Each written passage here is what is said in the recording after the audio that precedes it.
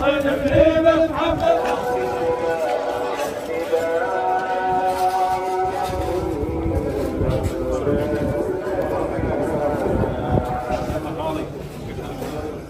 مصعب جلل على العراق والإيران.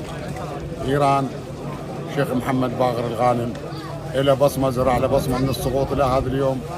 من أعماله الزينه من أخلاقه الطيبة من الاجتماعات ومن طرف اللي وفود كانت تتلف علينا من البصرة ومن عامة العراق هو كان كل وقته بالمقدمة.